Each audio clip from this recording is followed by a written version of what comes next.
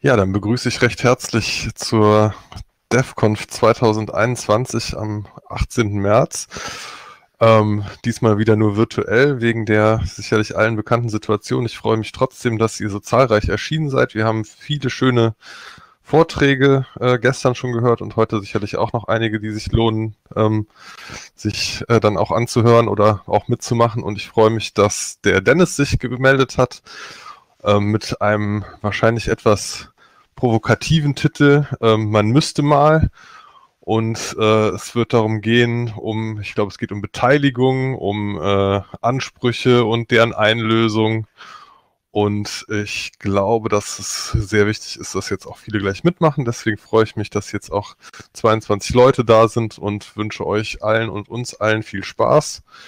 Ich äh, werde zwischendurch auf den Chat gucken, da den Dennis vielleicht ein bisschen unterstützen. Ich glaube, der macht das aber auch selber. Und ansonsten übergebe ich jetzt an Dennis und wünsche euch viel Freude. Danke, Richard. Auch von mir einen wunderschönen guten Morgen. Ich äh, klicke hier mal äh, meine kleine Präsentation äh, an. Die müsstet ihr jetzt dann gleich sehen, wenn Big Blue Button soweit ist. Ähm, ich habe in den Chat schon mal ähm, den Link zu einem Etherpad äh, gemacht. Ähm, wir haben hier heute nicht so den üblichen Vortrag oder äh, Workshop, dass ich hier die ganze Zeit rede und euch mit Inhalten vollballere, sondern äh, ich äh, würde kurz meine Herkunft und äh, meine Motivation für diesen Vortrag äh, erläutern und dann eigentlich gerne mit euch in die Diskussion einsteigen wie man schon an äh, meiner Folie sieht, komme ich von der Universität Hohenheim, bin dort im äh, Kommunikations-, Informations- und Medienzentrum äh, tätig, äh, dort insbesondere für Elias. Bin seit Januar 2021 jetzt Maintainer für Test and Assessment. Man nennt es inzwischen auch Classic äh, Test and Assessment. Seit 2018 bin ich Leiter der SIG E-Assessment in der Ilias Community so richtig aktiv, dass ich auch äh, zu Konferenzen, äh, DEFCONs, äh, SIG-Meetings, äh, als die noch im äh, Real Life stattgefunden haben, gefahren bin, mache ich äh, knapp seit 2016 und Ilias äh, im, verwende ich seit 2009. Man sieht es war ein gewisser äh, Prozess, um hier ähm, in der Community anzukommen. Vom reinen Ilias-Nutzer, ähm, Kursadministrator, Admin, Ilias Administrator, Unterstützung von Lehrenden hin zur Community, hin äh, zur Mitarbeit in Special Interest Groups, ähm, Working Groups. Und jetzt dann äh, ist es dann dieses Jahr äh, in einer Maintainerschaft äh, gemündet. Genau. So, ähm, ich habe, wie gesagt, ein äh, Etherpad äh, ein äh, von Stefan Winnicker erstellen lassen, sodass wir nachher ein wenig die Diskussion ähm, mitprotokollieren können, zumindest bei so in Stichworten. Wir haben zwar die Aufzeichnung, aber ähm, ich bin mir nicht sicher, ob äh, es nicht zielführender ist, äh, auch das schriftlich vorzuhalten. Denn äh, ich habe so ein bisschen eingeleitet äh, hier in die Kurzbeschreibung. Ähm, diese äh, Diskussionsrunde versucht, sich äh, diese Anspruchshaltung zu nähern und gegebenenfalls die Problematik näher zu beleuchten und Auswege zu finden. Ähm, bei der Einreichung waren da, sehr, äh, waren da noch 90 Minuten angesetzt. Wir haben jetzt 60 Minuten. Also werden wir nicht so richtig äh, zu Zielen kommen, sondern uns nur annähern können.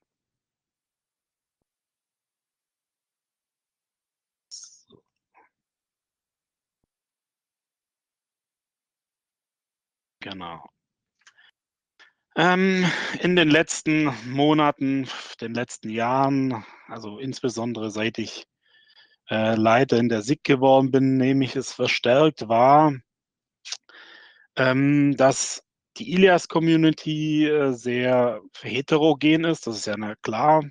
Wir haben Entwickler, wir haben Systemadministratoren, wir haben Anwender aus verschiedenen Bereichen, Schulen, Hochschulen, ähm, in industriellen Kunden, was auch immer. Da sind wir breit, äh, breit gefächert. Und ähm, Leute, die an die in die Community kommen, haben eine gewisse Erwartungshaltung. Ich habe jetzt mal so drei äh, Elemente identifiziert, wo man sagt, oder drei äh, Erwartungshaltungen, äh, so, die ich öfters mal sehe, äh, aufgeschrieben, auf die Folie genommen. Und ähm, das ist einmal sind so, sind, also zumindest aus meiner Wahrnehmung, Leute, die ein perfektes äh, Lernmanagementsystem erwarten, in der Güte möglicherweise von kommerziellen Produkten, wobei ich nicht immer sagen würde, dass kommerzielle Produkte die höchste Güte haben. Dann haben wir ähm, Leute, die sehen sich möglicherweise nur als Kunden eines Service Providers. Sie vergeben einen Auftrag und erwarten dann irgendwann ein fertiges, fertiges Feature oder äh, Produkt vorgesetzt zu bekommen.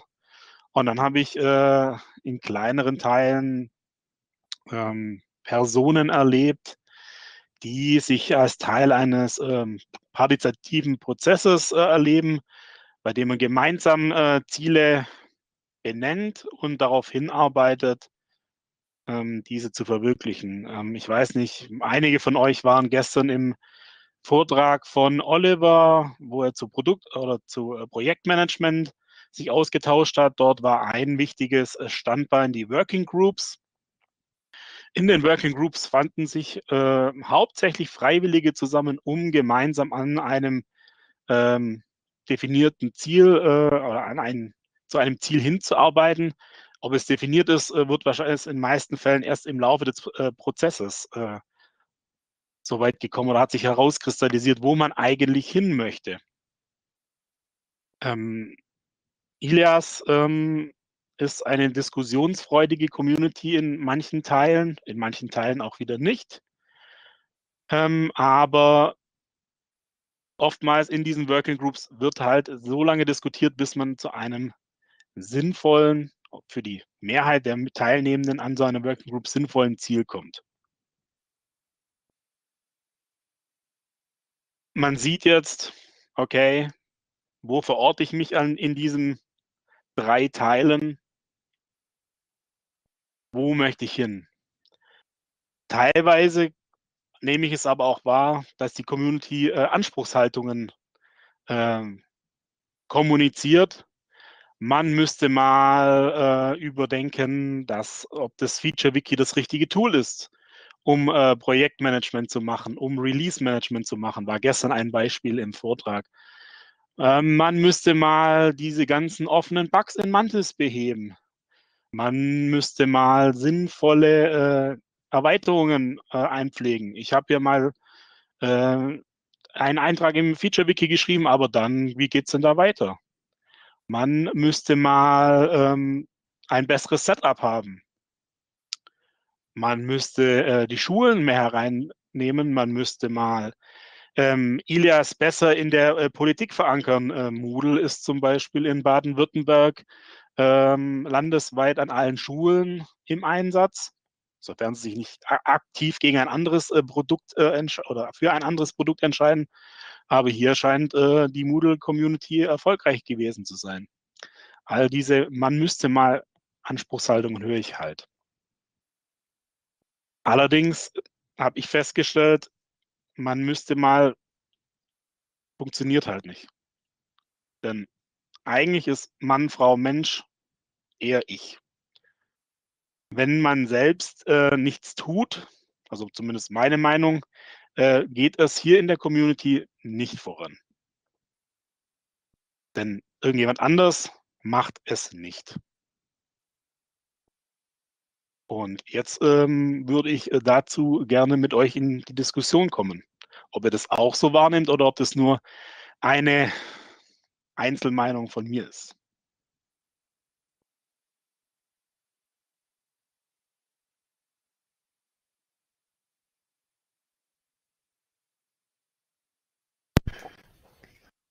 Genau, ich, ich äh, rufe Leute auf, wenn ihr das nicht freiwillig macht.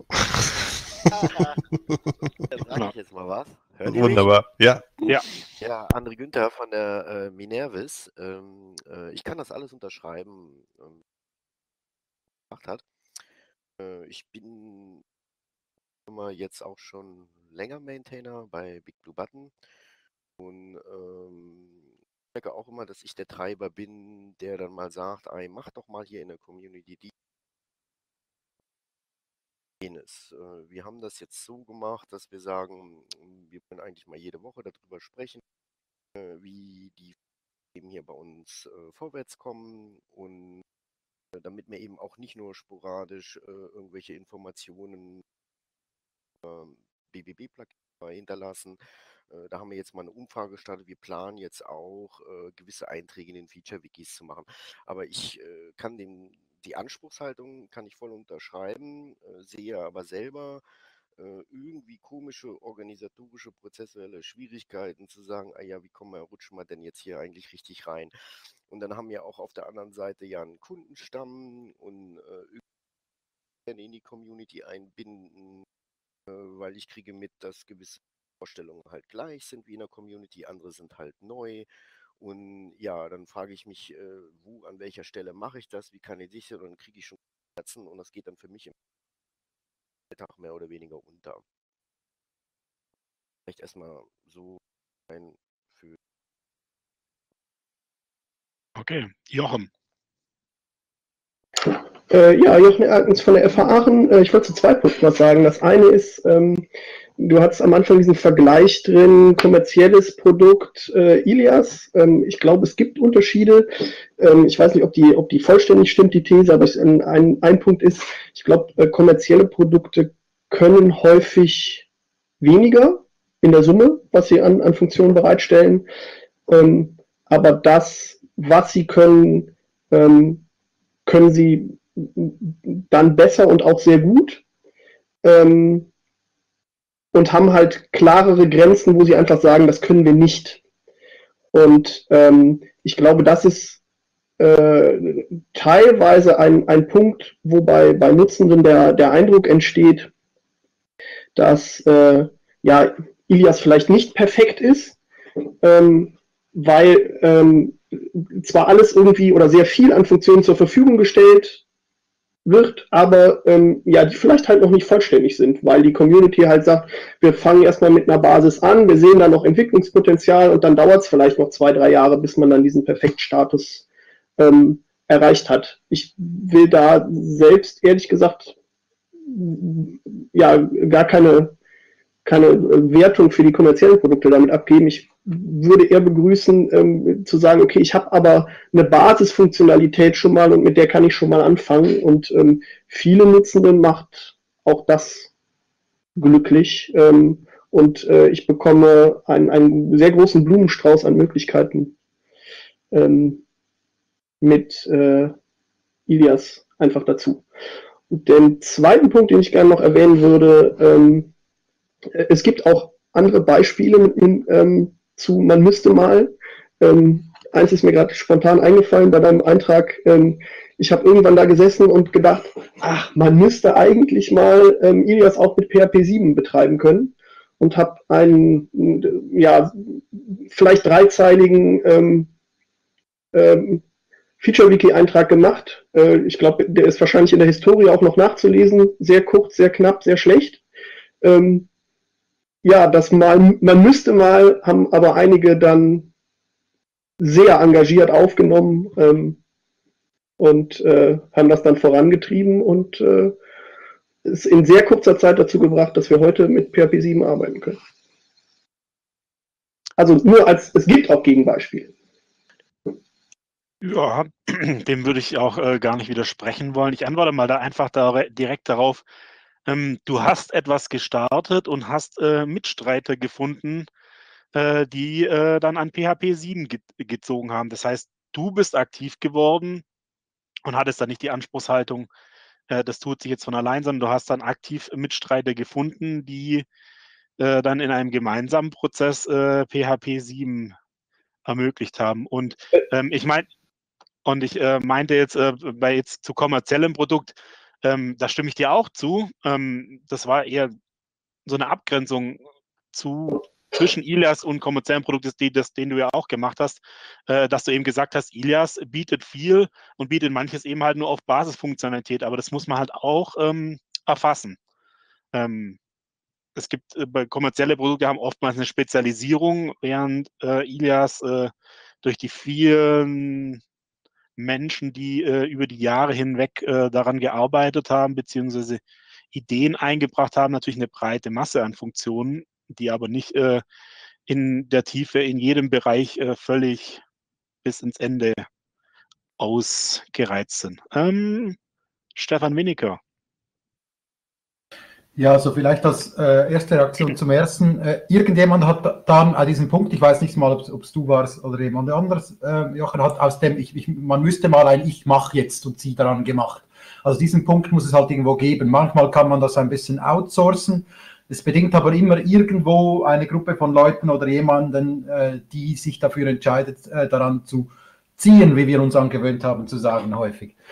Äh, das ist das eine. Und das andere mit diesem Unterschied zwischen der Basisfunktionalität und, und der weiteren Funktionen, ähm, ich würde die Frage in den Raum stellen, inwiefern ist das nicht auch eine Folge der Art, wie wir entwickeln miteinander? Also, ähm, dass wir, ähm, es könnte der Eindruck entstehen, also aus diesen Formulierungen, dass, dass, es, dass, dass wir wie etwas mal auf die Beine gestellt haben, das sind die Grundfunktionalitäten und die sind dann da und wir flanschen Dinge an also bauen Neues dazu. Und das ist das, was wir auch häufig gemacht haben, so wenn man sich den Ilias, ähm, Ilias Code an, anschaut, oder dass wir Dinge, Neues dazu gebaut haben. Ähm, die, die ursprünglich, der ursprüngliche Kern, der bleibt aber nicht so. Also man, es, es kommt PHP 7, jetzt kommt dann PHP 8, es kommt äh, ein neues Design, äh, das äh, dass man all paar, all paar Jahre ist jetzt übertrieben, aber regelmäßig auch einmal äh, in die Hände nehmen muss, damit die Leute das Gefühl haben, das stammt nicht frisch fröhlich aus dem 19. Jahrhundert.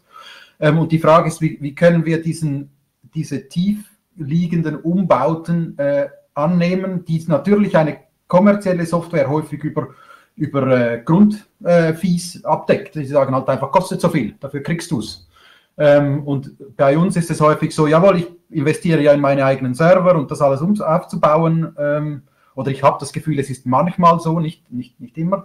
Ähm, und dann investiere ich dahin, dass ich meine neuen Features kriege, die, die ich möchte. Ähm, und das ist viel anstrengender. Es hat aber auch in letzter Zeit gut funktioniert, dank vielen Leuten, die gesagt haben, ich mache das jetzt, ähm, dass wir so Umbauten anpacken können. Ähm, die wir halt nicht in diesem Grundstock von ähm, äh, Licensing Fees ähm, einfach verstecken oder unterbringen können.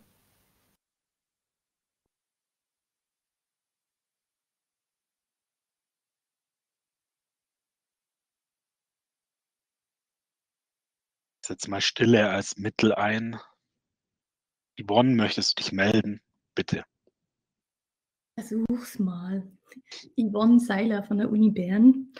Ähm, ich denke auch, es ist wichtig für uns als Community auch zu erkennen, was kann ich beitragen und in welchem Ausmaß und welche Anspruchshaltung habe ich dann an die Arbeit, die ich vielleicht dann damit auslöse. Also wenn jetzt Jochen das Beispiel gebracht hat mit der PHP, dann hast du, Jochen, sehr wahrscheinlich eben diesen ersten Blitz da reingebracht, der dann irgendwie den Stromschlag ausgelöst hat, der irgendjemand anders angepinkt hat und der hat dann das weitergetragen und da kamen mehr Leute dazu. Und das ist ja das Tolle, dass sowas funktioniert. Und dann gab es eine Gruppe, die hat sich damit auseinandergesetzt und damit kam das Projekt dann zum Laufen. Und da gab es immer wieder Leute, die dann ähm, das weiter mitgetragen hat. Und sowohl dieser erste Blitz, diese erste Aktion von, von Jochen jetzt zum Beispiel, war ganz relevant, aber sehr wahrscheinlich war auch die Anspruchshaltung von dir relevant, dass du Jochen, ich nehme jetzt einfach dich als Beispiel, es gibt ja noch viele andere, aber dass du auch nicht die Anspruchshaltung hattest, ich gebe jetzt das da rein und das funktioniert jetzt einfach und das wird jetzt umgesetzt, da machen sich jetzt andere dran, sondern ähm, man muss ein bisschen erkennen oder für sich vielleicht auch beantworten die Frage, was kann ich beitragen, wie lange kann ich was beitragen und wie lange kann ich was mittragen, das, was ich mittragen will. Ich merke es zum Beispiel bei der Page Editor Gruppe, die wir ja vor eben einem Jahr oder auch schon mal früher gestartet haben, aber vor einem Jahr waren wir noch eine viel größere Gruppe. Mittlerweile sind einige ausgestiegen. Das ist ja alles völlig in Ordnung. Das ist auch verständlich. Ähm, es ist sehr zeitaufwendig auch. Da können nicht alle im gleichen Maß mitmachen. Aber ich glaube, es ist dann eben auch wichtig zu erkennen, ähm, welche Ansprüche kann ich dann noch wie reintragen, je nachdem, was ich halt da mitliefern konnte. Ich glaube, das ist ganz relevant zu erkennen, ähm, was kann ich mitbringen in die Community und was kann ich entsprechend dem, was ich da reintrage, auch für einen Anspruch an das Produkt oder das Feature dann haben, dass ich da, das dann da entwickelt wird oder dass ich mit ähm, bearbeite. Danke, Yvonne. Ja, dem würde ich äh, durchaus zustimmen. Ähm, man muss äh, sich selber immer im äh, Klaren sein, dass äh, die Arbeit, ähm, wenn man eine hohe Anspruchshaltung an Ilias hat, ähm, man auch vermutlich selbst auch viel Zeit äh, investieren muss. Das ist zunächst einmal meiner Ansicht nach äh, der Onboarding-Prozess hineinzukommen, überhaupt in die Abläufe. Wie funktioniert der, der Entwicklungsprozess? Äh, wie kann ich mich einbringen? Äh, wo ähm, gibt es Fallstricke? Und ähm, dann auch äh, mit der Erwartungshaltung zu leben, äh, es gibt ein jährliches Release, ähm, es gibt Feature Freeze, es gibt Coding äh, Completed, es gibt die Beta-Phase das zieht sich alles und ähm, vor allem große Dinge, wie jetzt der Page Editor, den du als Beispiel gebracht hast, ist eben sehr zeitaufwendig, wenn man den in seiner Gänze, wenn man solche großen Dinge in der Gänze erfassen will. Ähm, wir hatten es gestern davon, die Page Layout Revision geht jetzt in, äh, in den dritten Teil. Der äh, Page Editor ähm, wird, äh, hat einen Teil in Ilias 7 äh, erhalten. Ähm, es geht weiter in äh, Ilias 8 ähm, solche langen Zyklen muss man realisieren. Wie Stefan schon gesagt hat, äh, bei kommerziellen Produkten ähm, kriegt man vielleicht, hat man vielleicht irgendwann Ankündigungen, was äh, der Hersteller plant, bezahlt seine Lizenzkosten oder äh, Upgrade-Preise äh, und äh, bekommt dann das geliefert, was er hat. Der Vorteil von Elias ist eben der offene Prozess, der durchaus immer wieder Neulinge herein bringt, die sich dann beteiligen. Sieht mir an mir selber, dass ich äh, mich langsam in die Community hineingearbeitet habe.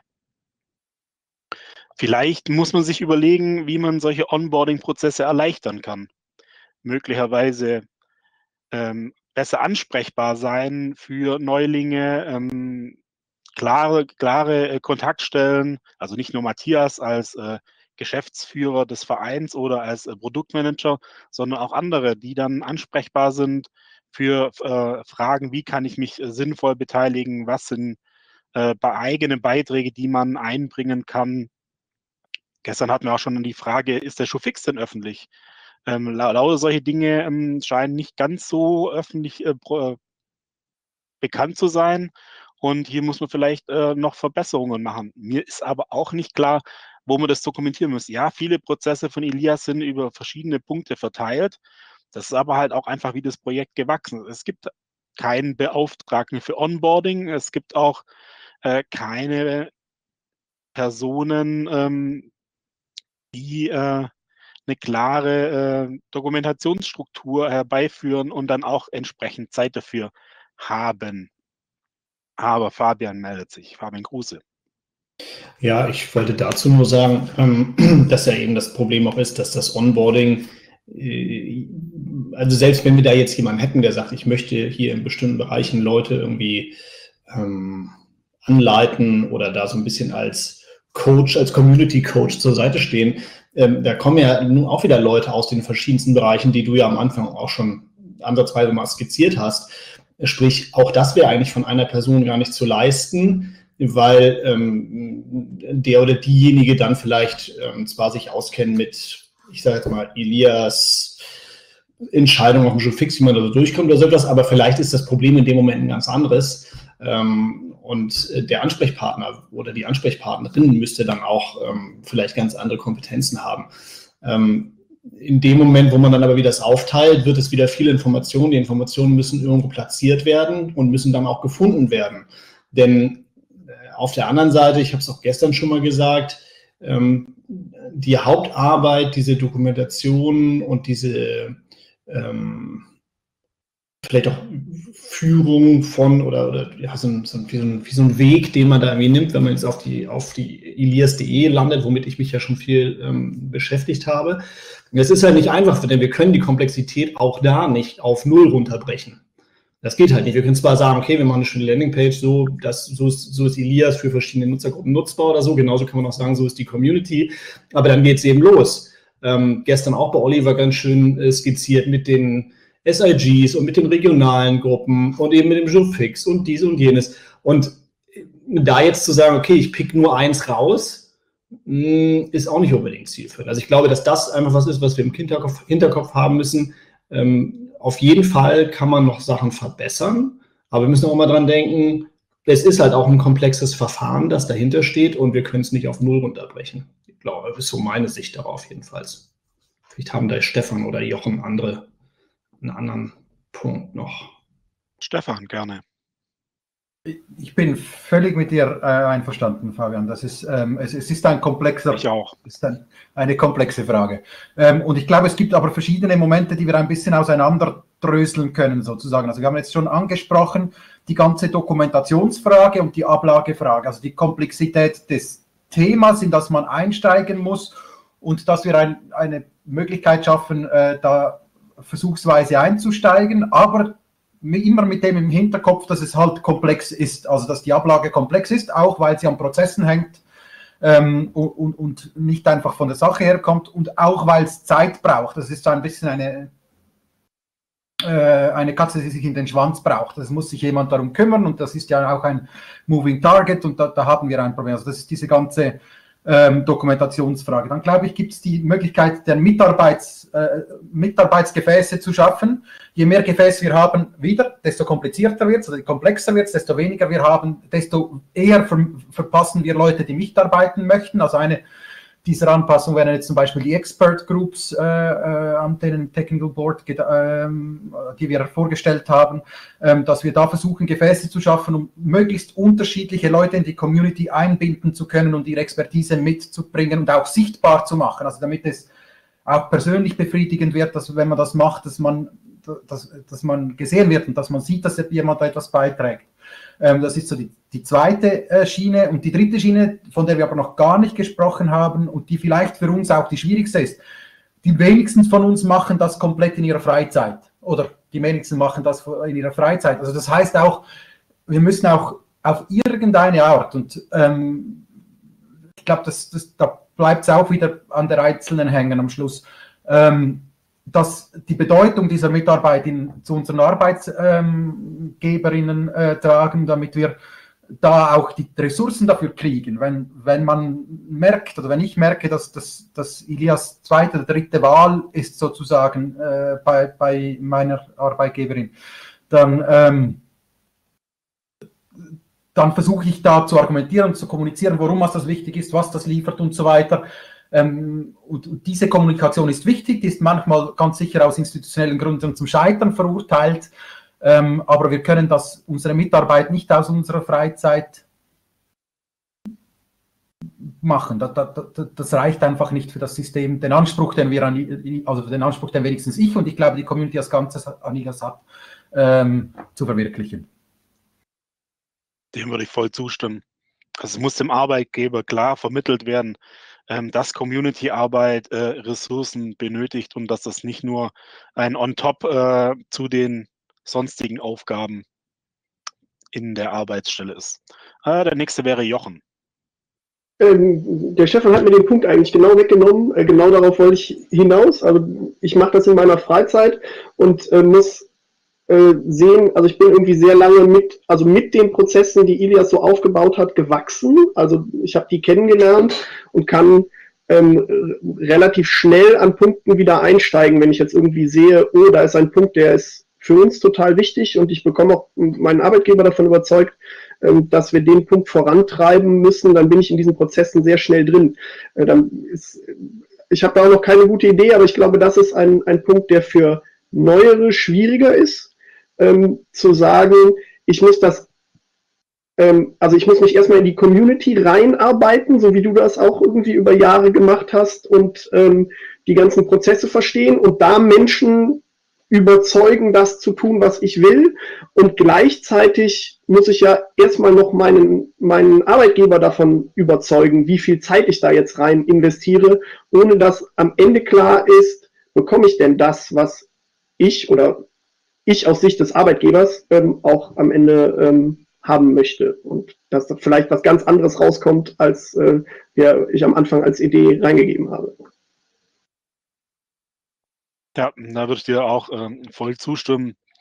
Ähm, es ist äh, von vor, am Anfang nicht klar, äh, ob das Ergebnis so ist, wie man sich das wünscht. Man kann nur in diese Richtung möglicherweise arbeiten, aber möglicherweise ähm, wird man durch andere ähm, Anmerkungen, äh, Mitarbeit durch andere Personen auch äh, entsprechend darauf hingewiesen, dass vielleicht äh, eine, eine Abänderung der ursprünglichen Idee noch zielführender sein kann. Ich äh, nehme das immer wieder als äh, Qualität wahr, äh, mit verschiedenen Personen aus verschiedensten Institutionen zu diskutieren, weil man möglicherweise seinen eigenen Selling Point zwar hatte beim Arbeitgeber für ein neues Feature, aber dann andere Blickwinkel darauf gefehlt haben.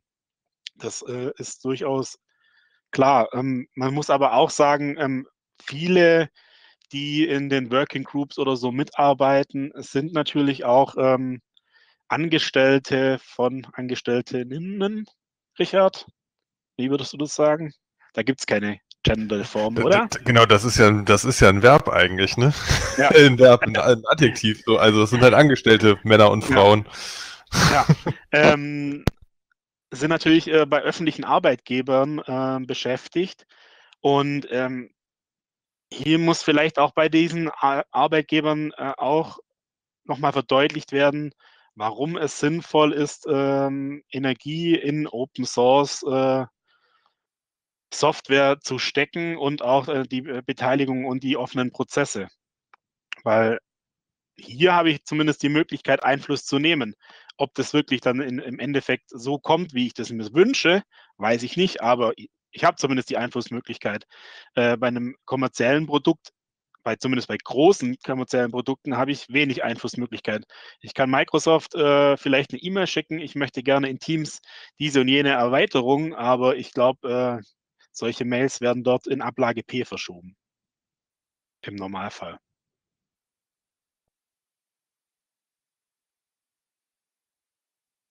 Darf ich nochmal reinquatschen? Na, äh, äh, Finde ich einen, ähm, einen total interessanten Punkt, was aber, glaube ich, die Sicht von so Nutzenden bei uns in der Hochschule ähm, auch total ausmacht.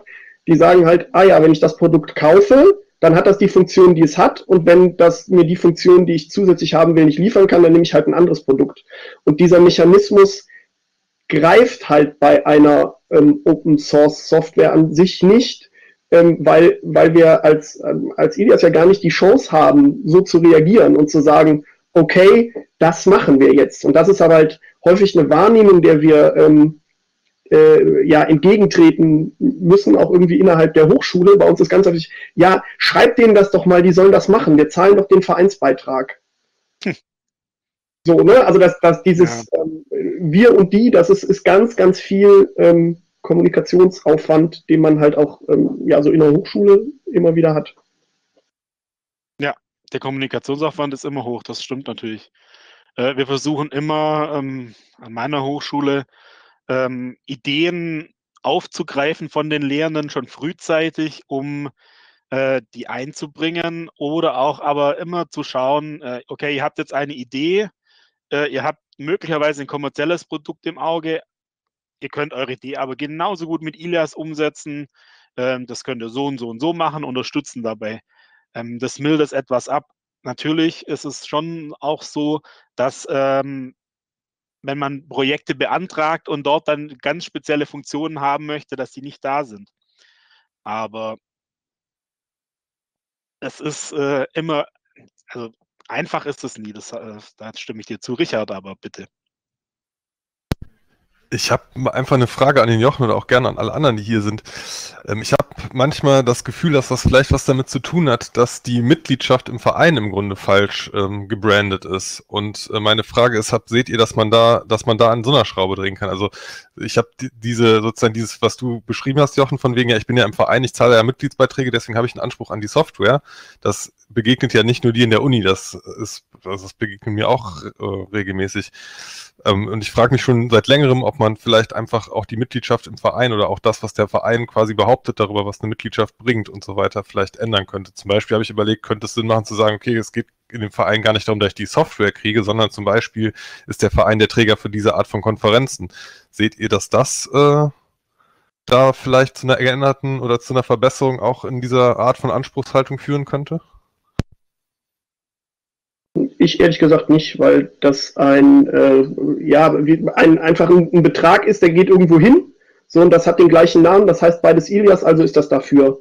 Ähm, wenn man mit den Leuten dann ins Gespräch kommt, verstehen die das meistens relativ schnell. Ne? Also ich habe auch schon äh, Profs auf, aus der Informatik gesagt äh, gehabt, die, die halt gesagt haben dann zu ihren Kollegen, ja hört mal, das ist lachhaft den Preis, den wir da bezahlen als äh, davon machst du keine Softwareentwicklung, ne? Also davon kannst du irgendwie einen Server für ein Jahr bezahlen, aber äh, sonst machst du da nichts mit, ähm, dass wir dafür zusätzliche Features mehr Geld aufwenden müssen. Das ist völlig klar und das ist auch richtig und das sollten wir machen.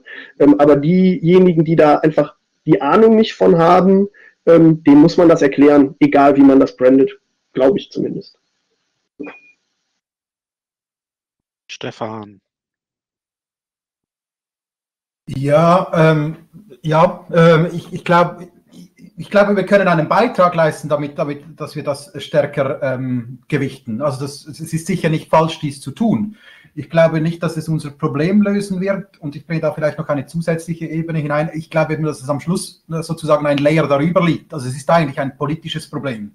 Es ist ein, ein gesellschaftliches Problem, nicht die, nicht, es bewegt sich eben nicht so sehr auf der Ebene der Einzelnen, sondern dieser gesellschaftlichen Kommunikation. Da gibt es ja auch ähm, viele äh, Vereine, die sich da engagieren und es ist, ähm, im Moment bin ich gerade wieder einmal ein bisschen, bisschen positiver, was das anbelangt. Ähm, äh, äh, Public Money, was Public Money, Public Code betrifft und ähm, die Zusammenarbeit und ähm, was das halt auch bedeutet für, für Abhängigkeiten und Monopolstellungen. Also da, da äh, hat sich Microsoft mit seinen Neuverhandlungen in letzter Zeit natürlich einen Bärendienst geleistet, vielleicht, wenn wir Glück haben, aber es ist halt einfach auch ein, eine gesellschaftliche Frage und die lösen wir sehr wahrscheinlich nicht in Ilias, also dafür sind wir zu klein. Äh, ich finde das super, wenn wir da daran teilnehmen, ähm, an diesen Diskussionen, aber das ist ein langwieriger Prozess. Also ich glaube, dass es sinnvoll ist, da das Branding und die Kommunikation zu, so gut wie möglich zu, zu verbessern, dass das klar ist, aber ich glaube nicht, dass es das Problem lösen wird.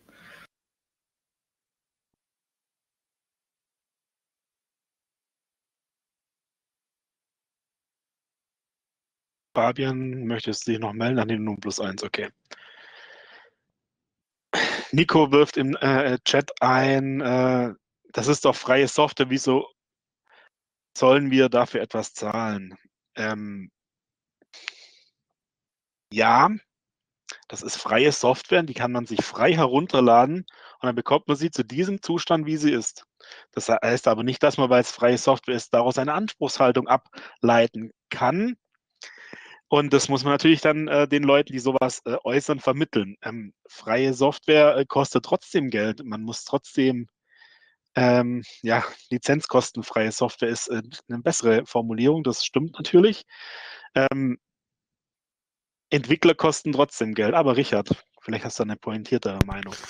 Ja, das mit der Lizen also lizenzkostenfreie Software ist sicherlich auch schön, aber dass der, der, also der eigentliche äh, USP von freier Software ist ja, dass ich, dass die Software an sich frei ist, dass die niemanden, dass die niemanden gehört, so, sondern dass ich quasi sozusagen, das ist ja auch was, das ist auch, glaube ich, was, was bei Elias absolut äh, unterschätzt wird, wie äh, zentral das eigentlich auch sein kann. Ich binde mich halt, indem ich die nehme, nicht an Microsoft, sondern wenn ich die nehme, dann habe ich prinzipiell gesehen zumindestens die Möglichkeit zu sagen, okay, geht weg, Community, ich habe keinen Bock mehr auf euch, ich mache das jetzt alles alleine und du kannst das alleine machen. Du bist an niemanden gebunden und das ist ja quasi dieser Freiheitsaspekt. Und äh, der führt aber natürlich auf dem umgedreht dann genau zu der Verantwortung, die ich dann auch habe, die Dennis ja hier so ein bisschen thematisiert hat, denke ich. Ja, genau. Ich kann machen, was ich will, aber dann muss ich halt auch machen, was ich will. Man kann, man kann, man kann, ich, ich, ich, ich nehme dich gleich dran, André, man kann halt nicht ähm, freie Software haben und dann trotzdem eine Anspruchshaltung äh, ableiten. Genau. André, bitte. Äh, ja, ich kann das nur unterstreichen, was da gerade gesagt worden ist. Und das ist natürlich ein weltweit. Wir haben äh, die Situation selber gehabt bei Big Blue Button und ähm, dann ging es darum, dass eine Firma ähm, Einstellungsgespräche mit chinesischen Studenten führen wollte. Und äh, dann hat er natürlich Skype vorgeschlagen. Da hat der chinesische Student ihn natürlich ausgelacht. Ähm, daraufhin hat er mich gefragt, ob er den Big Blue Button äh, verwenden kann. Und dann sage ich, ja, da geht aus. Hat er nämlich äh, die äh, Einstellungsgespräche mit Big Blue Button, weil das eben Open Source Software ist. Microsoft läuft in China. Daher ähm, sehe ich diesen Open Source Gedanken für uns auch als sehr, sehr wichtigen Bestandteil zu sagen, dass wir hier mit dieser Software auch für einen ja, freien ja, Bildungsstand kämpfen. Wir haben dadurch halt äh, die Möglichkeit, einem Silo zu entkommen sozusagen. Also Silo im Sinne von, ich versenke darin äh, meine Daten oder mein, mein Wissen, mein, meine Lernenden äh, und komme dann nie wieder raus. Stefan, ah, nee, Jochen. Ähm, ja, ich hätte noch einen Punkt, wo mich ähm, eure Meinung ein bisschen interessieren würde. Ähm, ich habe den Eindruck, dass so ein bisschen ein Umdenken allgemein, ähm, was die Kosten von Software äh, angeht, eingesetzt hat. Ähm, ich hatte ganz lange den Eindruck, dass viele mir so gesagt haben, ich habe eine Software, die kaufe ich oder die lade ich mir frei runter, dann installiere ich die und dann funktioniert die zehn Jahre lang. Und wenn ich dann eine andere Software haben will, dann kaufe ich mir eine neue. Ähm, durch diese ganzen Änderungen, ja vor allem natürlich was, was so die Apps angeht, dass ich ähm, viel stärker auf so, so Abo-Modelle setze und dass halt klar ist, ich kann nicht mit Software stehen bleiben, sondern ich muss ein Programm allein aus, aus Sicherheitsgründen ähm, ständig immer wieder weiterentwickeln und immer wieder daran arbeiten, ähm, setzt, glaube ich, bei vielen Leuten inzwischen ein Verständnis dafür ein, ähm, dass halt ständig Geld in Software reinfließen muss. Und ich habe den Eindruck, ich weiß nicht, ob das messbar ist, ähm, dass es damit auch einfacher wird, ähm, äh, ja, Stellen zu überzeugen, dass wir dauerhaft, dass dauerhaft Geld in Ilias reinfließen muss aus den verschiedenen Institutionen würde ich dir erst einmal zustimmen, von der Wahrnehmung her, von meiner Warte. Aber dann jetzt Stefan. Würde ich auch machen, zustimmen. Ich glaube, es hat aber ein kleines Folgeproblem, wenigstens in meiner Wahrnehmung. Jetzt kommen wir ein bisschen ab, vielleicht vom großen Thema, vom Titel, aber das Folgeproblem ist, dass wir ähm, die Folgen davon noch nicht wirklich, dass, dass noch kein Verständnis für die Folgen davon herrscht. Also das heißt, ähm, dass dass Software über die Jahre, wenn man sich ständig weiterentwickelt, wie, wie, ähm, wie das mit Ilias geschehen ist ähm, und, und mit anderer Software, Microsoft ist dafür ja auch ein Beispiel, dass sich da Sedimentschichten bilden von Software und dass der letzte heißeste, Entschuldigung, Scheiß, ähm, halt meistens keine Sedimentschichten hat, die aber über Zeit anhäufen wird. Das heißt, dass, dass wir dann, ähm, dass wir dass wir, durch das, dass wir immer den neuesten nachrennen, eben ähm, eigentlich unserem eigenen Interesse auch wieder zuwiderlaufen, ähm, äh, weil wir die Software sozusagen immer wieder wegwerfen. Ich hoffe, das war halbwegs verständlich, aber ähm, es ist gerade ein bisschen kompliziert für mich zu fassen. Klaus. Ja, danke. Ähm, Hallo zusammen. Ähm, ich möchte das an äh, einer Stelle nochmal ähm, unterstreichen. Ich glaube, diese, äh, dieser Switch hin, dass äh, äh Verantwortliche in Politik äh, mehr und mehr erkennen, äh, wie bedeutsam das ist, ähm, den, den können wir aktuell beobachten. Äh, wenn auch nur langsam, aber man äh, kann das auf der Bundesebene äh, zwischen den Zeilen lesen oder auch sehr direkt. Ähm, und ich äh, habe das jetzt in der Vergangenheit auch in Gesprächen erlebt, ähm, wo es dann auf einmal plötzlich dazu kommt, man geht mit äh, einer, äh, einer Erwartung in eine Verhandlung ähm, und die Erwartung wird letztendlich sogar übertroffen.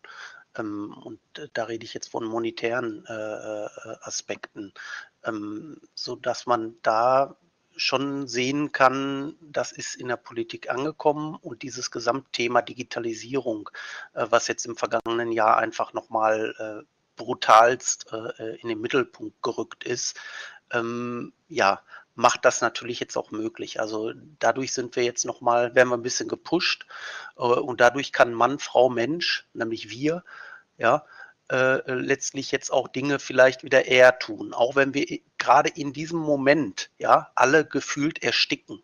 Das ist auch so eine Besonderheit. Also das ist insofern so ein Henne-Ei-Problem. Wir müssten eigentlich jetzt alle viel stärker ja, uns engagiert um Ilias kümmern und uns einbringen. Und ich habe das gemerkt beim Testing beispielsweise, dass ich schlichtweg einfach die zeitliche Ressource, die fehlte mir komplett. Ja, ich hätte zwar jetzt äh, in, an einigen Stellen vielleicht mit Geld um mich werfen können, das hätte hätte einen aber nicht wirklich weiter nach vorne gebracht, weil es dann nicht wirklich äh, zielgerichtet gewesen wäre. Und äh, ich glaube, das ist eine, eine, eine, Besonderheit, wo wir gucken müssen, dass wir das, dieses Ziel irgendwo auch ja, äh, äh weiter äh, im, im, Auge haben müssen ja, und äh, fokussiert darauf zulaufen müssen, auf dieses Ziel. Ja. Und das müssen Mann, Frau, Mensch, wir alle, die Community gemeinsam machen. Und dazu bedarf es der Abstimmung und äh, ja, gemeinsamer Aktivitäten. Ob es jetzt eine solche Veranstaltung wie hier gestern und heute ist oder auch die Mitgliederversammlung. Aber das merke ich, dass das halt äh, ja ein, ein wenig äh, äh fehlt. Ja, das ist auch so ein, so ein Punkt durch die, durch die Pandemie diese Gespräche, die wir jetzt hier führen, äh, die kriegen wir nicht eins zu eins hin, wie wir sie sonst führen würden in Präsenz. Und äh, ich glaube, da müssen wir gucken, weiß nicht, das, da habe ich keine Lösung, das werden wir nicht aufbrechen können, aber äh, dieses äh, gemeinsame Ziel nicht aus dem Auge verlieren, das ist ganz, ganz wichtig. Für Mann, Frau, Mensch. Richard. Ich wollte was zu deinem Thema mit der Pandemie sagen, Klaus. Ich, äh, ich hoffe, ich trete dir nicht zu nahe. Ich habe das Gefühl, das ist ein bisschen ein, ähm, ein Altersproblem tatsächlich. Also ich ähm, glaube, also ich sehe das auf der einen Seite, was du sagst, so diese äh, sozusagen per persönlichen Gespräche auf so, solchen Konferenzen, die fehlen mir auch total irgendwie. Also das, das kann natürlich nicht sein, dass man sich, oder das heißt, es kann nicht sein, das ist nicht gut, wenn man sich nur virtuell sieht. Da gehen einfach auch Layer in Kommunikation verloren und so weiter. Auf der anderen Seite habe ich zum Beispiel noch nie so intensiv mit, äh, weiß ich auch nicht, Leuten aus der Schweiz zusammengearbeitet wie in den letzten anderthalb Jahren. Und also wir kriegen dadurch irgendwie sozusagen auch eine breitere Beteiligung hin, weil der, weil sozusagen dieser Ort quasi plötzlich überall ist, an dem man sich beteiligen kann. Und äh, ich sag das mit dem, hab das mit dem Alter am Anfang gesagt, weil ich schon das Gefühl habe, dass das, dass das wirklich was mit dem Alter zu tun hat. Ich bin jemand, ich bin quasi gerade jung genug, um sozusagen noch eine Zeit erlebt zu haben, wo es das Internet quasi gar nicht gab oder da auch noch aktive Erinnerungen dran zu haben. Aber ich bin gleichzeitig auch äh, jung genug, um schon auch große Teile von meiner Jugend und so weiter in so einer Form mit anderen Leuten verbracht zu haben. Also ich hatte mit 14 Leute bei mir zu Hause, die mich besuchen gekommen sind, weil ich die in ICQ kennengelernt habe. Und ähm, also für mich existiert sozusagen dieses Problem gar nicht so, dass ich diesen virtuellen Raum als irgendwie so viel unpersönlich oder so wahrnehme, ähm, sondern ich bilde mir ein, auch in auf solchen Veranstaltungen eigentlich genau die gleichen Gespräche führen zu können, wenn man das richtig organisiert. Und ich habe aber auch jetzt gleichzeitig in der Pandemie, zum Beispiel bei uns in der Company, halt gesehen, dass es tatsächlich da Leute gibt, also weiß ich auch nicht, mein Chef, den Gerald hast du ja wahrscheinlich mal kennengelernt, der halt einfach, äh, der halt einfach überhaupt gar kein Repertoire dafür hat, um in sich in so einer virtuellen Welt dann auch tatsächlich angemessen bewegen zu können, der da deswegen einfach awkward ist und der das auch regelmäßig halt gespiegelt kriegt, glaube ich. Der ist jetzt auch ein bisschen besser geworden über die, über die Zeit, aber ähm, man merkt halt, dass der halt eben kein Digital Native ist und dass dem das schwerfällt. Ja, den Eindruck habe ich auch. Ähm, dass das schon so ein bisschen ein Generationending ist, wie man äh, sozialisiert wurde, um damit umzugehen, dass vieles einfach digital äh, läuft. Ähm, ich würde Klaus zustimmen, dass wir halt jetzt durch die Pandemie äh, ein Brennglas auf die Digitalisierung äh, gerichtet bekommen haben und die Politik mal vorgeführt bekommen hat, äh, wie viele Jahrzehnte sie geschlafen hat, wie viele Jahre ähm, sie an den Bedarfen vorbei agiert hat oder gar überhaupt nicht agiert hat. Und jetzt äh, fällt das stark auf. Und jetzt kann man natürlich nicht innerhalb kürzester Zeit das nachholen. Ja, klar, jetzt machen sie die äh, Geldbeutel auf. Äh, Geld ist jetzt äh, teilweise massig da, wobei ich jetzt sagen würde, ja, schauen wir mal an, die äh, Mittel, die in die Rettung ähm, der Wirtschaft allgemein gegangen sind. Nicht, dass ich das den Leuten äh, äh, missgönne, aber äh, und dann schauen wir mal an, wie viel dann irgendwie in irgendwelche Digitalisierung gemacht wird und dann pff, bin ich mir auch nicht sicher. Also ja, und es, klar ist, äh, es gibt es gibt ein Zeitlimit. Äh, wir haben jetzt alle noch mit den äh, immer noch mit den Pandemie-Auswirkungen ähm, zu leben, äh, vor allem jetzt im Hochschulkontext ähm, müssen wir irgendwie Lehre immer noch digital machen, müssen Prüfungen digital abhalten, obwohl die Strukturen nie das, das nie vorgesehen haben. Ähm, und da fehlt natürlich Zeit für die Community-Arbeit. Umso wichtiger ist es natürlich äh, dann schon von vornherein äh, Arbeitszeit äh, für die Community äh, fest reserviert zu bekommen vom Arbeitgeber. Vielleicht nicht alleine, aber halt mit den Kollegen und so weiter. Dann äh, ist auch einfacher zu sagen, okay, die Zeit muss ich einfach dafür aufwenden. So. Wir haben noch neun Minuten. Gibt es noch weitere Wortmeldungen?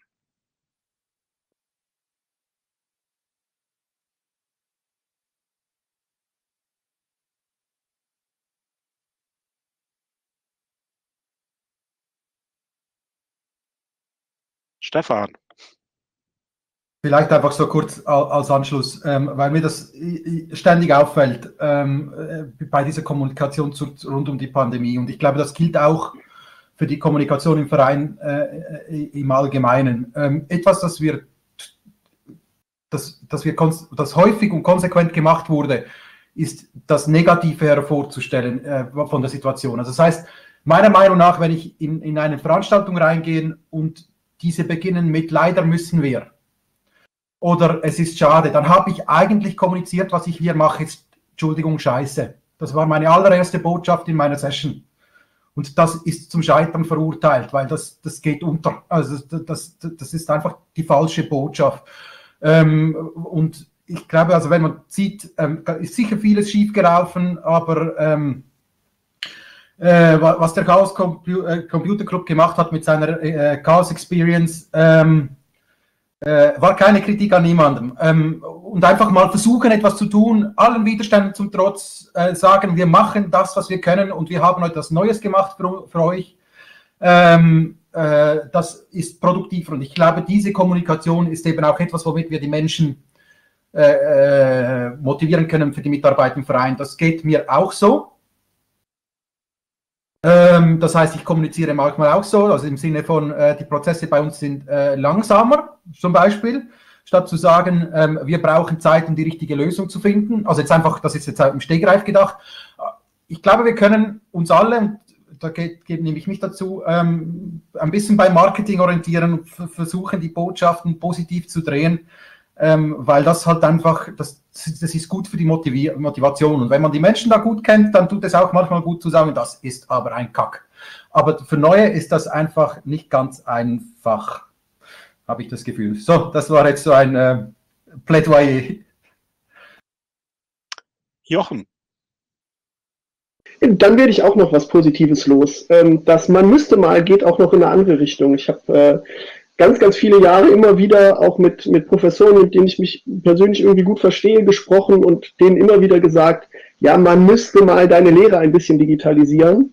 Und äh, die haben immer gesagt, nein, ein richtiges Medium ist die Tafel und sonst gar nichts. Und äh, die haben mir jetzt irgendwann im Laufe der, ähm, der Pandemie dann zurückgemeldet und gesagt, ich mache das jetzt alles mit Ilias, das ist total super. Ich habe da äh, ein Forum eingerichtet, da muss ich eine Frage nur einmal und nicht zehnmal beantworten in der Sprechstunde. Und äh, da will ich jetzt auf jeden Fall noch mehr von machen.